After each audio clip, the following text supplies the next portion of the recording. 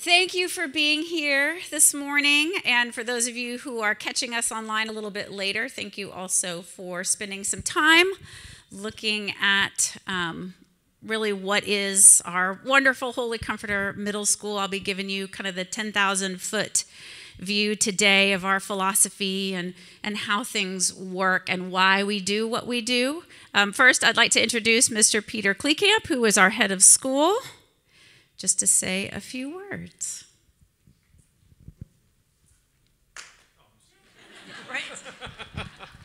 Good morning.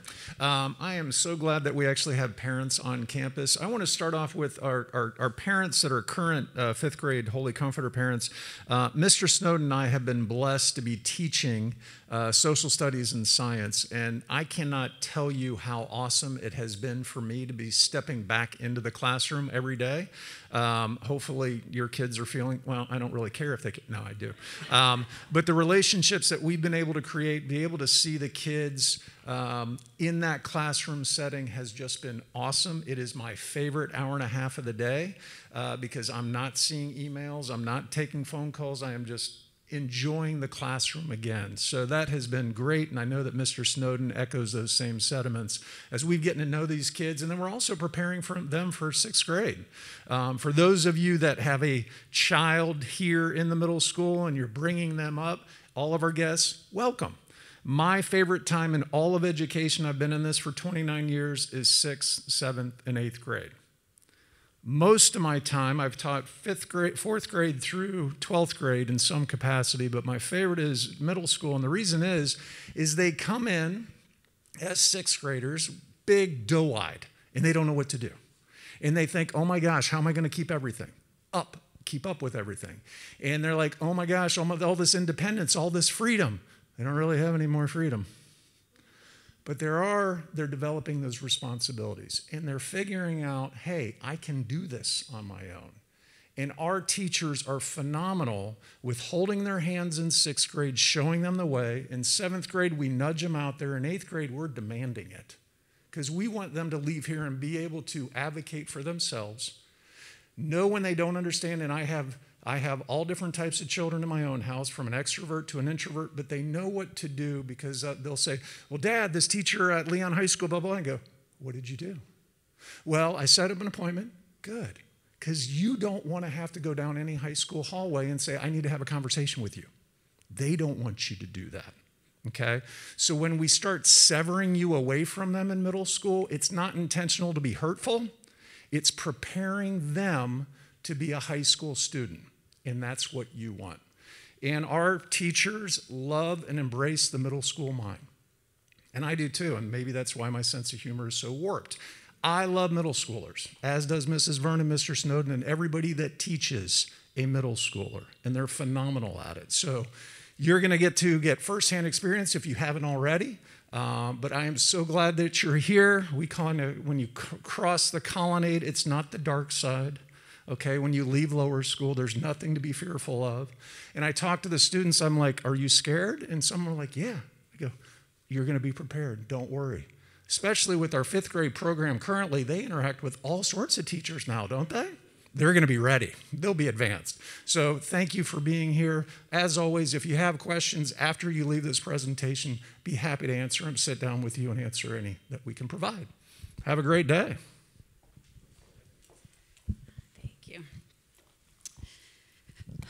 All right, and I am Amy Vernon, and I have been at Holy Comforter. This is my 24th year at Holy Comforter and my sixth year as the head of middle school. The, the 18 before that were spent, just like Mr. Kleekamp, in the classroom as a social studies teacher. Um, I taught some religion classes. I did a little bit of that in lower school, middle school, and have done a couple other things. I am also the very proud parent of two alumni both of my daughters, who are now at Chiles High School, one is a senior, one is a sophomore, were at Holy Comforter from pre K 3 all the way through eighth grade. Um, so I am, I, I am all about Holy Comforter. I am not the most objective person to talk to because I just, I love this school. I have grown up at this school. My children grew up at this school. We are not perfect by any stretch of the imagination, but it is a wonderful, wonderful place for children. And, you know, looking at the middle school years, particularly, they're a little hairy. Um, you know, they're full of all sorts of really interesting, challenging times. But like Mr. Kleekamp said, every one of our faculty, every one of the people who work with these middle schoolers do it because they love middle school. They love the messy, they love the unpredictable. They love these kids and they want to see them grow as much as they possibly can in these three years that we have them. So, a special welcome to those of you who are brand new to the school. And welcome to those of you. I know we have some alumni parents in here, as well as some parents of current middle school. So um, we've got a lot of great resources. Like I said, this is really going to be kind of a, a, bird's eye view of the philosophy. I'll get into classes a little bit, but if you have any specific questions after the presentation is over, please feel free to contact me. I'm happy to chat about specifics. But what I really want to do today is kind of get into what we do and why we do it and what is our philosophy for middle school. And it really starts with the philosophy of our school and for those of you who are Holy Comforter parents, you've seen this, you've probably heard this, but this is our common language. You talk to, you know, an organization that is successful, they will tell you it, they have a common language. And this is really where our common language begins, and that is the mission of the whole school. So every teacher knows this mission. And, you know, there's really some key parts to this. We believe that each child is a unique creation of God. And then we nourish the spirit challenge the mind, strengthen the body, really to put them out to be contributing members of society. So, so this is really the foundation of everything that we do as a school, and this is really where we start also as a middle school. So then that leads us into what our our philosophical premise for the middle school specifically. And this is, you know, over time we've developed this and we really feel like these are the keys to what we are doing. And so we really believe it is a balanced approach. Though we are a school, we are an academic institution, and we are primarily here to teach, there's so much more to these kids than just their intellects. And we really feel like this time, this three year period, it's important to address all of that. And at this point, they're really still open to being invested in. As high schoolers, you know, they're particularly as you know sophomores juniors seniors you know those values are formed those experiences have happened in middle school they're really even though they don't want to admit it and they try to kind of make it seem like they're not they're very much still able to be influenced and impacted by the adults in their life. And so we want to leverage that. We want to take advantage of that. So we address, of course, the intellectual, but you know, we have a wonderful opportunity in a Christian school to address the spiritual needs as well of these kids. And that is primary for our middle schoolers as well as they explore all of those pieces. And of course, the social and emotional is key to middle school. As fifth grade parents, you may have seen some of the social and emotional come out already, and it can take wonderful, sweet, kind, loving forms, and then it can take, oh my goodness, who is this child standing in front of me forms. And it really, I mean, it's so fun. Like, that's what's fun to me is this just crazy. They come in one morning and they're a completely different child than they are three hours later or you know the next day they're a totally different kid and one day they're completely independent and i can do all this myself and the other day they're you know kind of a mess on the floor like life is overwhelming and i can't do anything and so that's what we jump into and we're able to really address a lot of those pieces through our programs at the school so we really do take the whole child into account. It is incredibly important for us to get to know these kids as individuals and as groups so that we can invest in them completely. So that intellectual, spiritual, social and emotional, it's really, you know, it's a whole package for us. And then of course, it's a time of exploration and self-discovery.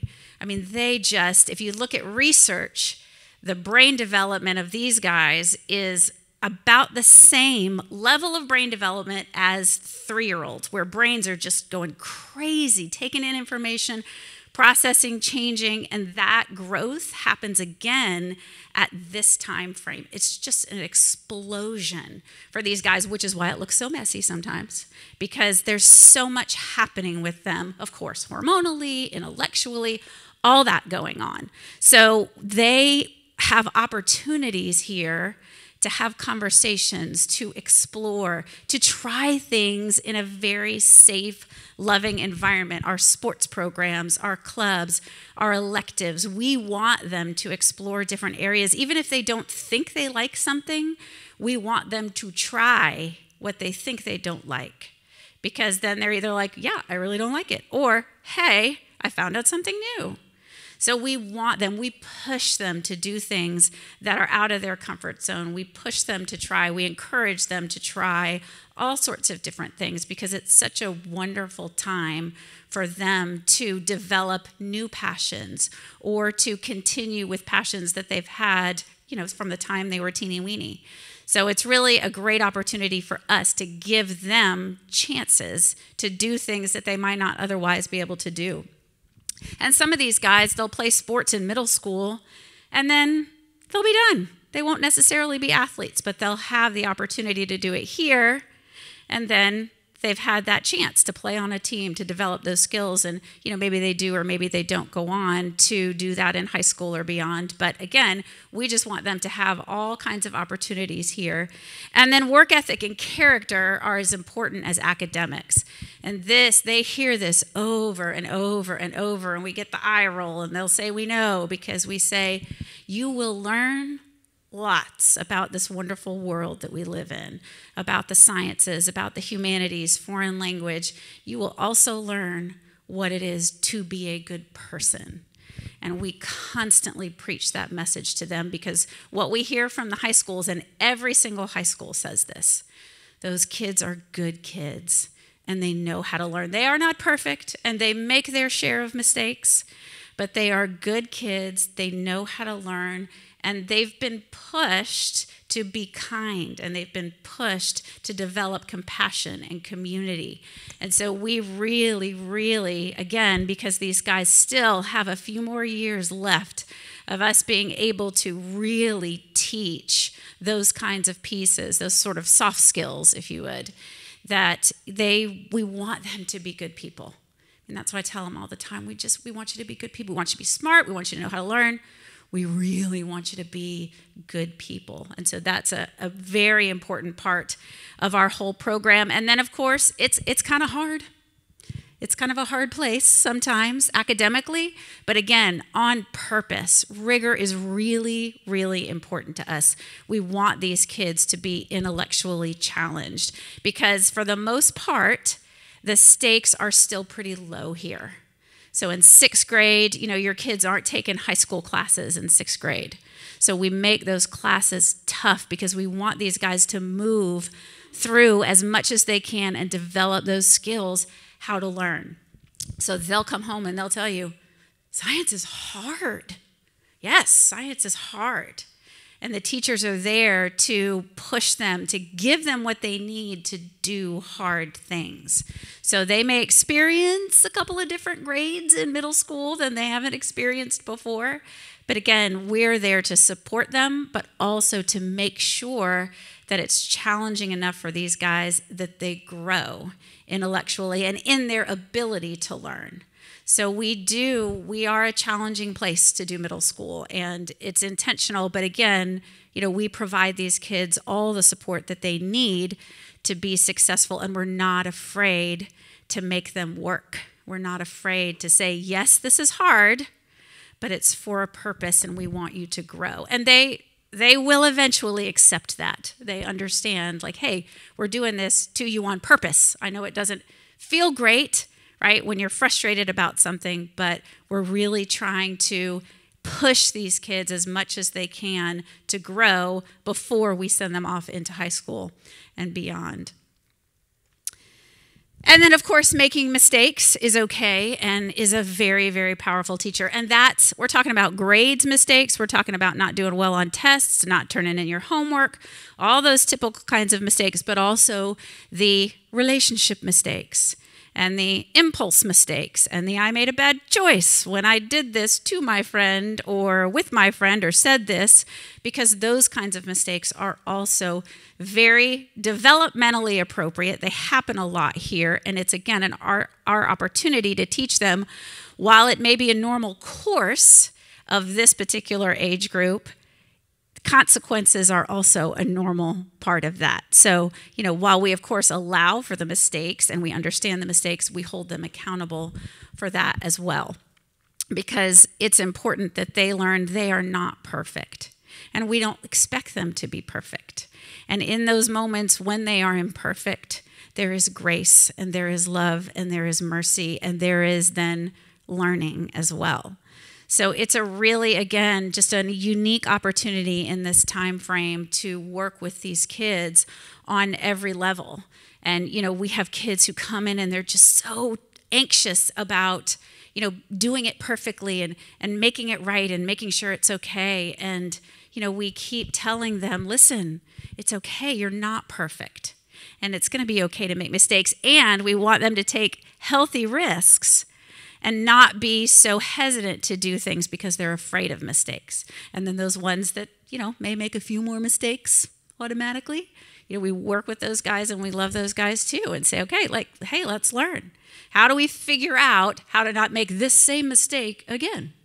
Because again it's just an important part of life. And you know we're not perfect. And you'll have teachers that'll say oh my gosh guys you know i messed that up. Or i'll say goodness gracious i messed that up. Or they'll point out mistakes in my powerpoints which occasionally happen. So it's a you know it's a loving wonderful grace filled but also accountability filled you know opportunity for us. And then again um, for our teachers we really, you know, we push teachers to continue their training. So, you know, we look for opportunities to do webinars in this case. We're not going very many places for conferences these days, but we will get back to that. So, we're constantly pushing our teachers to be better as well. We have an extraordinary group of teachers who also know they can get better. And so they learn right along with the kids. And so we give them training. We want them to stay current. Um, we want them to be as effective as they possibly can in the classroom. And again, that's not just, hey, I need to learn more about my subject. That is also, hey, tell me about middle schoolers. You know, what, what more can I learn about these guys in this age group and how to deal with the things that they're dealing with? Because that changes every year. We think back, and my gosh, I didn't have you know, the cell phone and the social media and all these things. And so we've learned right along with them and, and the issues and the opportunities those things create. You know, we've learned that too. So we're constantly looking and we're constantly seeking and we're constantly growing as a faculty as well. And then, you know, that common language, that's for us too that is very much we want our teachers to be people of good character. And we want our teachers to show and model because if you say one thing and do another particularly at this age they're focusing on what you do. And if it looks different than what you say they're not going to listen very well to what you say so they are looking at these teachers and they're watching these teachers, and, and the teachers know that and they take that responsibility seriously. So, you know, as a faculty, we want to model grace, we want to model compassion. We want to say, look at that, I made a mistake. I'm going to have to move on from that and we're going to have to fix that. So it's a really great, again, opportunity because they're watching and they're watching all the time and they will point out the inconsistencies and it's a again just such a wonderful time for us to grow as people. So as we demand of your children, we also demand of ourselves. And this, when we talk about common language, this is sort of our middle school common language. And so all of those philosophies and that mission statement are really wrapped up in this. And this was actually written by students And they say it every morning as a part. They do the pledge, they do the honor code, and we do announcements every morning in the middle school. So this is what we say. So these, when occasionally a middle schooler ends up in my office or in a deep, meaningful conversation with Mr. Snowden, we almost always refer back to our honor code because this really embodies who we are as a middle school. And that last line, man, they can tell you that after the first, you know, month or so. Work hard, be nice. Work hard, be nice. And so when they come into my office, did you work hard? No. Were you nice? No. Okay, what do we do to fix that? So it really is a wonderful way for us to drill down with these kids hey, this is important. And again, it's not just about what you're learning, it's about who you are as a person and how you're engaged with the people in your immediate community, in your greater community. So this is where we take them to lead them to all of the philosophies and you know that's kind of wrapped up in our in our honor statement where are we going? So this is kind of you know what what our end goal is. And one of the things i love about this middle school is it is really a three year process. Of course they will go through sixth grade seventh grade eighth grade but we look at it as a continuum. Those grades don't function in isolation. They of course have different academic requirements for each grade level but what we have started with if you know sean covey is begin with the end in mind so we are looking at how we want these kids to grow and learn and what we want them to be and know when they're gone and we work backwards from there. So, you know, we of course prepare them for high school because they can't stay here.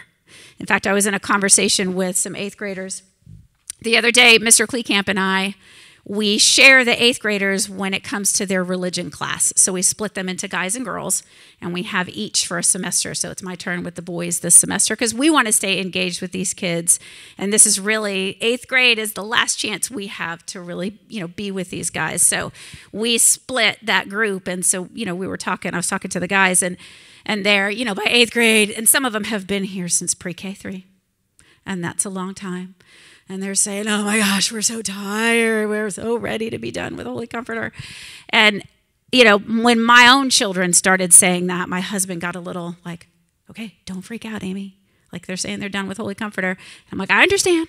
I got it. They have to be done with Holy Comforter because they can't stay." So ultimately, you know, what they're saying is, I'm, I'm ready for more.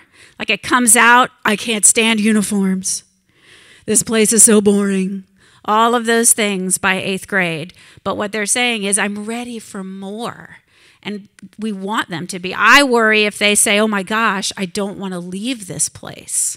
And they come back and they tell us, you know, after they're in eighth grade telling us how much they hate it, they come back in ninth grade, later on in ninth grade, 10th grade, and they say, I get it. Like, I get it. It's a different place. So we have to prepare them for high school, and we do that very well. And every single high school in this county wants our kids public, private, all of them. And we're in close contact with all of those schools to make sure that they are ready to transition from eighth grade to ninth grade. And the last year or so has been a little crazy. And we know that we don't really know what it's all going to look like, but I can guarantee you these eighth graders are ready for what they will face in ninth grade. And by the time your guys get to eighth grade, they will be ready for what happens in ninth grade. Because again, it's a constant conversation with a lot of the high schools. We have some really great connections and we've sent kids everywhere. So we are constantly, hey, where are you guys? Our foreign language teachers are talking to their foreign language teachers. Our math teachers are talking to their math teachers. You know, I'm in contact with a lot of the administrators because we want that transition to be smooth. And these guys are over prepared. That's what we hear every year as these guys are over prepared for ninth grade. Not only in what they know, but again, how they write, how they learn their study skills, because these are all pieces that we know they expect you to have and they don't necessarily teach in high school. So we want to make sure that they're ready not only intellectually, but also socially and emotionally for that next step. So that's kind of primary goal number one is we got to get them ready because we can't keep them. And then again, work ethic and good character. Like we just want these guys to be good kids because that takes you so far. And we talk to them about making mistakes here and how it's okay. And we're kind of glad they made that mistake here because the stakes get higher later and the consequences get a little bit tougher. So we are constantly involved in those conversations with these guys about working hard and being nice. And they they can tell you, you know, okay, what does Mrs. Vernon say? What does Mr. Snowden say? What all the teachers say? Work hard, be nice. And then our 20th century, 21st century skills um, collaboration, communication, information literacy, creativity, critical thinking. Again, these are all embedded in our curriculum. There is so much information that is available to and comes at these guys constantly.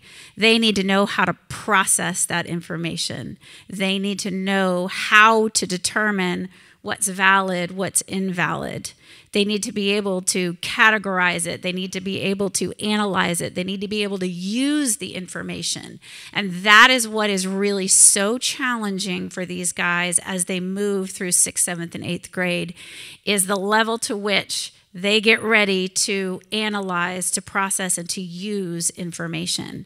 And so that's a key component to our program is teaching them those specific skills. Because again, we will teach them the fundamentals of, you know, periodic table and algebra and equations, but at the same time, we're teaching them how to process that information and how to work with people because the work environment is collaborative and all of this information can be easily accessed, but then using the information to accomplish a goal or a purpose is something that they really need to know how to do. And they come in at all different levels. You know, some of these guys as sixth graders, and this, you know, I, I have two children, very different children. They were different when they came in as sixth graders. One of them, she was ready, process. The other one, not quite there. So we work with these guys, particularly as sixth graders. They come in at varying stages of ready to process, process that information. So our teachers are wonderful at providing them those skills and intentionally taking them from sixth grade, you know, more concrete skills all the way through eighth grade, where they really are doing some amazing things processing and developing and using the information. So, you know, it's really important, those things. We're constantly going back and looking at our curriculum and seeing how we can improve it with an eye to those skills as well. And then, like Mr. Kleekamp talked about, independence and self advocacy. So, the emails you'll see as sixth grade parents, you will see them addressed to the child with you as a part of that email. So the conversation really moves from teacher parent to teacher kid and parent. And that i know that's starting a lot in fifth grade as well but these guys really want we want them to develop those relationships with their teachers and take ownership because this is really it's their education and it's their job. This is what they are doing. And we want them to feel comfortable. We want them to have confidence talking to our teachers. And it's, I mean, my kids had trouble with it. Like, what? No, I'm not going to talk to that teacher for you. You need to talk to that teacher. It's a tough thing, but we push them to do that because we want them, by the time they leave here, to really have confidence in advocating for themselves and in taking ownership of that education. So that's the conversation, like Mr. Kleekamp says, we are not cutting you out of the conversation. We are redirecting it. And we will have conversations with you guys, with the kids, all of it, but we really start to foster that relationship between teacher and student and really start to encourage the student to take ownership, to ask questions, to be their own advocate. It's a really great skill, and I think one, you know, that is I don't know, unique to Holy Comforter, but the emphasis I think that we put on it is really important. And, you know, we're a small independent school, so we're able to do that. We're able to really foster those relationships. So that's an important piece. for our program. Quickly, our actual academic program. We have five core academic areas language arts, math, social studies, science, and foreign language that our kids jump right into in sixth grade. And then we have kind of a wheel, a rotating requirement in sixth grade um, because they get laptops and you know many of them start to have phones around this time period so we have what's called foundations in technology and all sixth graders take that and it starts with how to use the website we get into all the cyber safety issues. We get into all the being kind online issues. They learn how to code. They learn how to do all sorts of really wonderful things in this class. But it really is teaching them how to use technology appropriately because we're handing them this device that can access many different things. And we want them to understand how to use that properly. So that's one of our sixth grade courses. And in seventh grade, they take PE. And then in eighth grade, it's a health PE class. And it's actually a high school course. And we'll talk about that in a minute. But it's called HOPE Health Opportunities Through Physical Education. Um, and then they have electives and they have two electives a year, and they meet every other day. So they're essentially semester long courses, but they last the whole year because they meet every other day. And just a quick look at our sixth grade elective choices for this last year. It changes a little bit every year based on teacher availability, but these are some of the classes that we offered for our sixth graders last year. Seventh and eighth graders have a few more opportunities.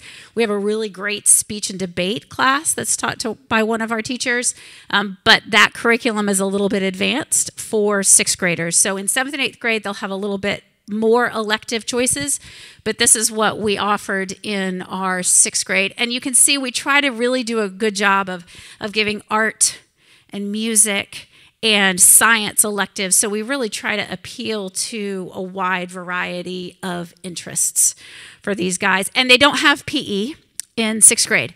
And they don't really have recess in sixth grade anymore, which they kind of look at me like, what do you mean we don't have recess? So that's why we have um, those Get Moving and Whacked Out Sports and Girls Get Moving and the other Whacked Out Sports. Those are kind of a lot of the sixth graders take those because that means they have at least some point, you know, where they're out and they're running around and they're exercising. So we encourage the sixth graders to do that. We want them to have, we know it's important for them to do that. So we try to include all sorts of woodworking, Mr. Williams, if any of you guys know Mr. Williams, um, he is our facilities director and a master carpenter. And this class we picked up just last year, and it's really it's extraordinary. You know, it's shop basically, but it's so much more than that for Mr. Williams. And your kids are going to get a chance to kind of walk through his class um, today. And then uh, Dr. Mack teaches a great photography class that we have this year. We're hoping when we can get fully back into this building that we're going to have like a technology production class. So, again, this is what we offered this year, and then it'll look slightly different. Lots of these courses will remain the same, but um, you know, this is this was our sixth grade offering this year. So again, opportunities to explore, you know, to try something different, um, to do something unique you know, maybe you don't want to be a master carpenter, but you take that woodworking class and I mean, you learn all sorts of skills, but you know, you also do something that you might not have ever done without this opportunity. So, you know, we just really want these kids to to try something. Um, and then our high school credits. You can, in fact, leave here with up to six. Most kids don't leave there with that many because that's a that's a pretty hardcore math track. Um, but math you can learn earn up to do. We have algebra honors and geometry honors, so you have to place into those courses. And then science, we have one biology honors, also an eighth grade course. Um, so those you can leave with high school credits. And then foreign language, most kids will leave with at least one foreign language credit. So um, we're off. We offer Latin, French, and Spanish. And Latin the first year of the language is really broke up into two years. So if you take the language all three years, the same language, you can end up with two foreign language credits. Um, we do encourage all of our kiddos who graduate with two foreign language credits to go on to at least that third year because when you're looking at competitive colleges, they don't necessarily like to see you end your foreign language career in eighth grade.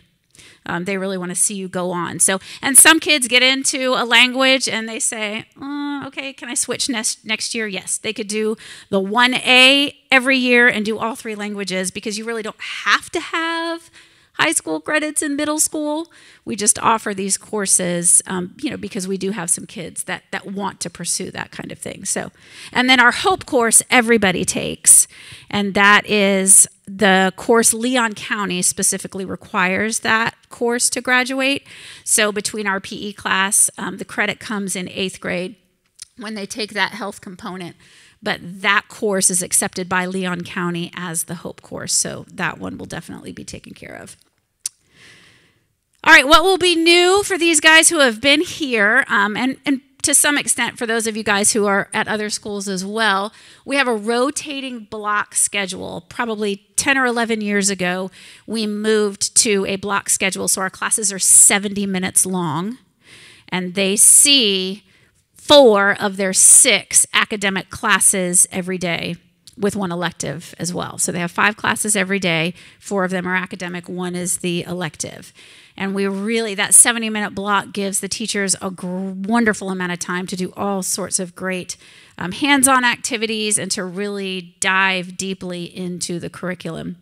So we have found that's a that's an excellent time frame for our students, and it we end up with a rotation. So we don't have math at the end of the day every day, for you know those kids who may be a little sleepy at that you know 2:30 hour, and you know or who may not you know be fully awake in that first class. Math is not always the first class, so it does rotate a little bit. You will see the schedule eventually, and you'll go, oh my gosh your kids will get it within days. Like they they they pick up on it really quickly. They're already doing a rotation um, if your kiddos are here in fifth grade, so it's not hard for them to pick up on.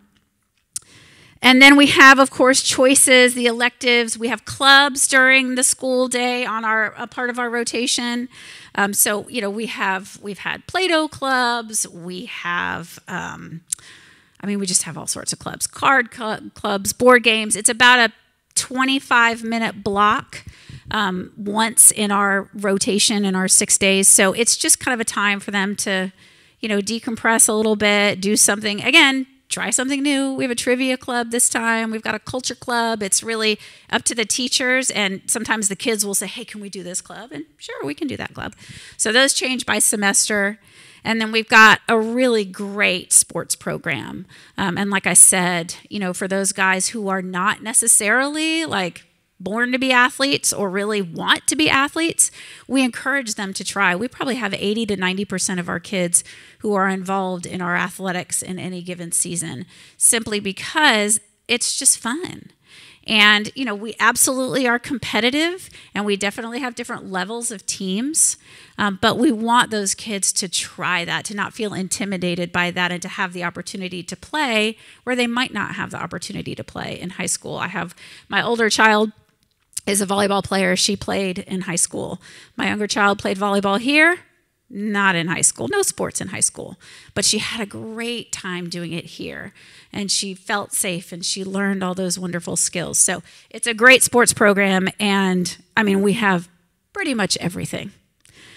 And then organization and day to day decisions. This is, this is what trips them up a little bit in sixth grade, is this piece. And not so much this year. It'll be really interesting to see if we don't end up having lockers at all this year, because we don't right now and then we have a whole group of sixth graders and seventh graders who've never used lockers. So that'll be a super fun challenge for us next year because they have to, you know, they got to figure out like, what do I need for my next class? And, you know, they have a whole two buildings to go through. So, you know, they're trying to figure out, well, if I have to go back to my locker, but my next class is in this. And our sixth grade teachers do, I mean, the whole first sixth, part, sixth grade part of our target course, which is um, kind of an advisory period that our guidance counselor, who just snuck in the back, Mrs. Butera, runs, is really dedicated to how do I figure out where to go, when, and what to bring like that. I mean, we do that for weeks and we stand out in the hallways typically the first couple of weeks of school when there's the, I can't get my lock undone, I can't get my lock undone, I can't get my lock undone. And we have an orientation and they can take the lock home and they can do all the practicing. And there's no such thing as a tardy for sixth graders for a while. So that's the stuff they get all just totally jacked up about. Like, I'm not going to make it to class. No, you probably aren't, but it's going to be okay. Right? You're all right. And you're probably going to have the wrong stuff. And that's going to be okay too. Right? And so, you know, it's it's fun to see and it's fun to see them then realize how quickly they really can catch on to it. I will say, for those of you with boys, it does take a little longer with those boys, as you've probably, you know, maybe already observed in some circumstances. So, organization, day to day decision making is going to be a little different like I mentioned, our target program, um, it's a steady time during the day. That's one of the things that actually doesn't rotate. And we do all sorts of wonderful activities. They're broken up into smaller groups, so there's 12 to 13 kids in any given target. They're same grade level, and they have different curriculum that's designed, like I said, by our guidance counselor. So in eighth grade, we're looking at high school choices, and we're talking about high school, and we're doing things like that. And in sixth grade, we're just trying to make sure you get to class on time. Um, so it's you know it's a wonderful, wonderful curriculum. It's when we do our religion class. It's when we have our chapels. We will still have chapels in middle school. So all of those things are part of our daily experience with these guys. And then of course they'll have their laptops. Um, they'll have lockers, uh, class trips. Yes, we will we will get those back. Um, dances, we will also get those back. Those are hilarious. I mean, really, because we do need parent chaperones for those. I encourage you, even though the kids will look at you with utter panic and say, do not come, you need to chaperone at least one dance. At least one, just so you can see the just, I mean, it's a big social experiment. It's really just for the adults' entertainment to watch. Um, but it's so fun for these guys to, you know, be able to, to get together in that kind, again, safe, environment. We started doing them in here, which of course is a beautiful place to have the dances. So they always, that's the question I get most often this year. Are we going to have a dance? I hope so. Like, I'm really hopeful for May. But we'll see. Like, we got to do it safely. Um, but that's the question I get most. Are we going to have a dance? Are we going to have a dance? Are we going to have a class trip? Are we going to have a dance? I hope so. Um, and then the freedom, also, Mr. Kleekamp talked about, and it really isn't that much different, but I'll tell you the biggest thing is they'll say, you don't have to walk in a line, right? That feels like freedom to them. Because when you say, oh, we have so much freedom, what they mean is we don't have to walk in a line. Like we get to walk about. You know, we do not let them roam about unattended and, you know, wander over to, you know, the eye doctor. But they do feel like they have this extraordinary amount of freedom because they're changing classes and they're in different classes with different people. And, you know, they do, in fact, get to walk from place to place without being with the same group of people in line. So I love it because they don't realize how not free they are, but they feel like they are just grown adults. And it's, it's so fun to watch them develop that. And I mean, it's just such a good time, and we love these guys. You know, they really are messy and wonderful, and I just cannot, like, I can't imagine being anywhere else. And we've had a couple of our teachers started in high school, and so it was a bit of a, a leap down um, for middle school. And, you know, I think at first they thought, I don't really know. They love it now. Like, they just, you don't know until you're there how wonderful like these kiddos can really be um, and how loving and how kind and how challenging they can be and how rewarding it is for us to be able to see that growth again you know over three years. We don't look at these guys as you know really sixth graders seventh graders eighth graders. We look at these guys as middle schoolers. And here is this you know person we have for this limited amount of time what are we able to do with them? And so it is absolutely our privilege to be able to invest in these guys. And there's a, a, picture. So this is this is typically what it looks like for our graduates at graduation. And we we did do a wonderful graduation at the end of the summer last year. It was a beautiful ceremony out in our courtyard. Um, we didn't get to get this picture, so you know that's kind of what they look like. But because they get angry if I don't put their picture up. This is last year's graduating class, which we made it to our DC trip by that much. Um, and I mean, we were so excited to be able to get that in. We do that um, early on in February. So that was just before things went a little nuts. Um, but that is, you know, that's that's our eighth grade class from last year. Um, this is from the the year before that. So, you know, they're just they're happy most of the time. Um, and they're such great kids, and you know, again, it's just it's just our privilege to be here with them. Um, so thank you very much. Again, I'm happy to answer specific questions if you guys have them about the program. Um, but that hopefully gives you just kind of a an understanding of who we are as a school um, and why it really is just such a great place for these guys at this time specifically. So, thank you very much.